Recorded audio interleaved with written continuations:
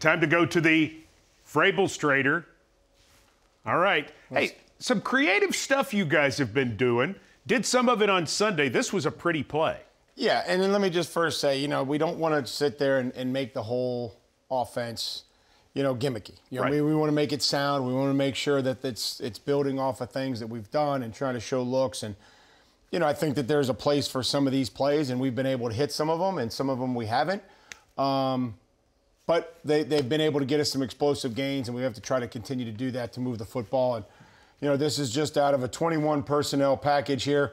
You know, we see the tight end in, in the backfield creating a fullback look um, off of a run that we'll run, you know, numerous times here with this toss. Normally, Nick will come in here and crack, okay, and the fullback will lead here. We get the puller around, and sometimes that'll be Derrick or Tyjae, whatever's going on there.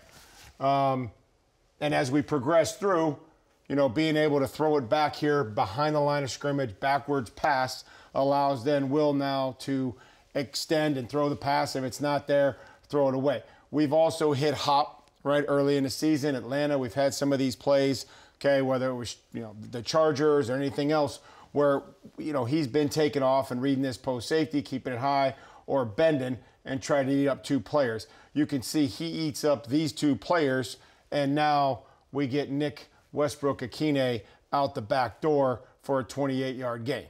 And it's just about marrying plays, marrying run plays.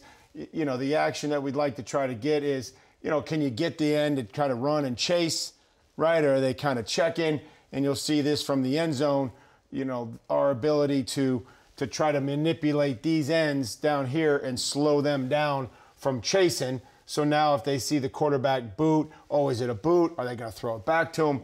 You know, what are they going to do? And being able to slow them down a little bit as you see, you know, here. Next time we boot out of here, uh, we're probably going to get him, you know, to kind of check back, and now we'll get a cutback lane. So as you start to build things, you know, he's looking obviously reading top down. Don't think it's going to be hop, but then being able to build uh, just somebody coming into his vision, not knowing how much longer you're going to have to hold on to the football. When you run 42 times and run effectively, they're going to bite on this look to give you these opportunities. Yeah, you're going to get, you know, I mean, you're going to get backers here that are flying where Nick had gone in there earlier and maybe cracked one of these guys. Now you're getting them flying, and then Nick can can get out the back door.